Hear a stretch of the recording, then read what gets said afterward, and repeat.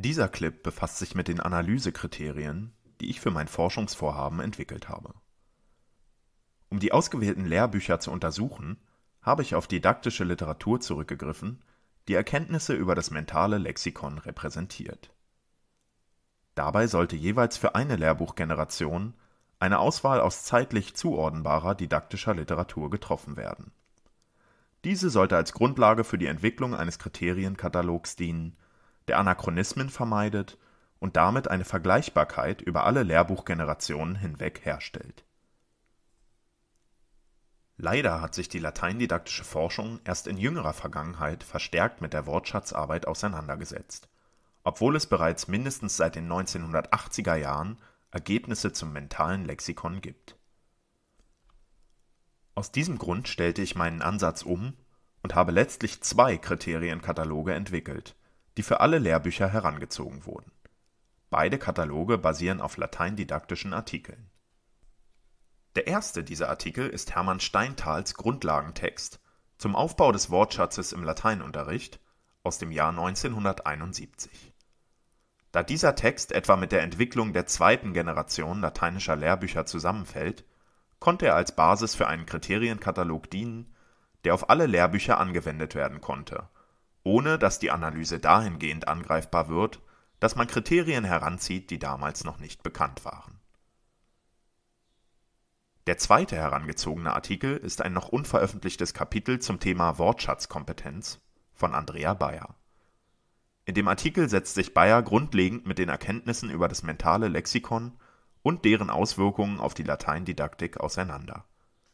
Es ist daher davon auszugehen, dass es sich hierbei um die neuesten Ergebnisse zu dieser Thematik handelt. Aus diesem Grund eignete sich der Text hervorragend, um Kriterien zu entwickeln, die eine vergleichende Analyse der Lehrbuchgenerationen auf der Grundlage von modernen Erkenntnissen ermöglichten aus Steinthals Text wurden insgesamt elf Kriterien extrahiert.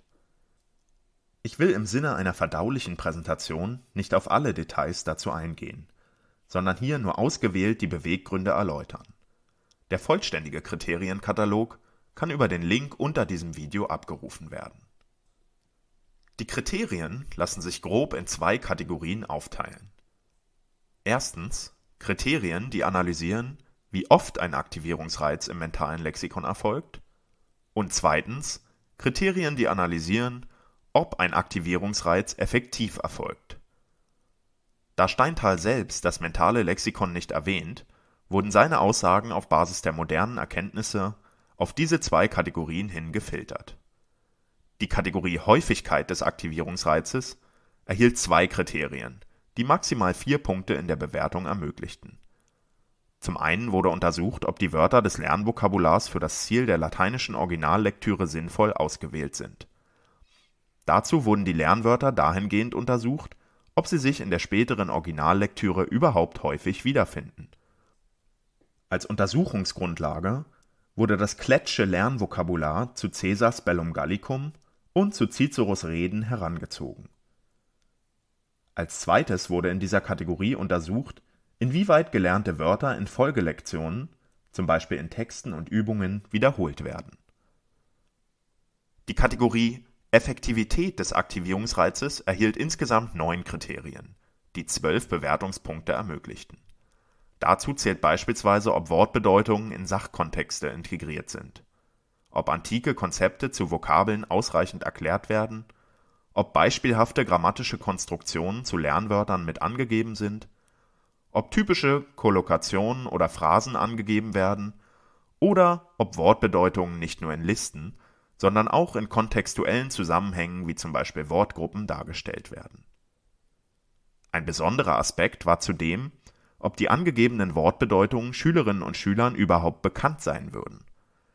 Dazu wurden die Übersetzungen des Vokabulars der früheren Lektionen daraufhin überprüft, ob sie zu den 10.000 häufigsten deutschen Wörtern zählen dies erschien dahingehend plausibel, dass der Wortschatz von Kindern über die gesamte Schulzeit laut Angaben des Goethe-Instituts von etwa 8000 Wörtern auf etwa 80.000 Wörter anwächst.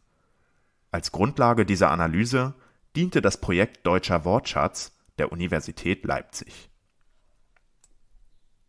Der entwickelte Kriterienkatalog wurde im zweiten Schritt auf Basis des Textes von Bayer um acht zusätzliche Kriterien erweitert. In der Kategorie Häufigkeit des Aktivierungsreizes wurden die Aspekte ergänzt, ob ein Lernwort bereits in einer Lektion mehrfach wiederholt wird und ob es im Rahmen einer Übung zusätzlich trainiert wird. Im Rahmen der Kategorie Effektivität des Aktivierungsreizes wurden verschiedene Aspekte der Repräsentationsebenen von Wörtern im mentalen Lexikon ergänzt. Dazu zählt bezüglich der Bedeutung zum Beispiel die Frage, ob zu Vokabeln fachspezifisches Kontextwissen vermittelt wird.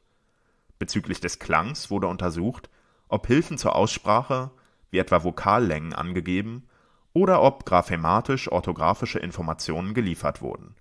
Das heißt, ob zum Beispiel unterschiedliche Bedeutungen bei gleichlautenden Wörtern wie cum thematisiert werden. In Bezug auf die lexikalisch-syntaktische Ebene wurde zum Beispiel untersucht, ob ein Wort mit seiner syntaktischen Funktion geübt oder dargestellt wurde. Darüber hinaus geht Bayer in ihrem Text auf wichtige Lernstrategien für die Wortschatzarbeit ein.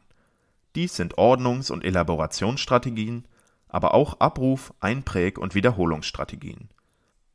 Diesen Strategien wurde ein eigenes Kriterium gewidmet, mit dem untersucht wurde, ob verschiedene Lernstrategien in den Lehrbüchern zur Anwendung kommen. Insgesamt kommt das Bewertungsschema auf Basis von Steinthal auf 16 Bewertungspunkte. Der Kriterienkatalog anhand von Bayer erreicht 29 Punkte. Diese Punkte wurden für jede Lektion einzeln vergeben und anschließend addiert. Die Gesamtpunktzahl eines Lehrwerks wurde dann mit der möglichen Maximalpunktzahl ins Verhältnis gesetzt, sodass für jedes Lehrwerk eine in Prozent angegebene Performance angegeben werden konnte. Wie die Performance der Lateinlehrbücher aussieht und welche Aspekte in der Analyse noch aufgefallen sind, stelle ich im nachfolgenden Ergebnisvideo dar.